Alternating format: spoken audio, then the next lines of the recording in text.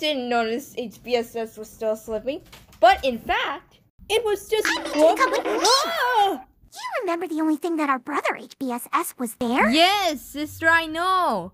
We have to say something to HBSS what he wants. Let's do it for Sunblossom. HBSS? HBSS, we just wanted to talk to you. Please listen to us. Yes, my sister is right. I can't take it. Can you please talk to us?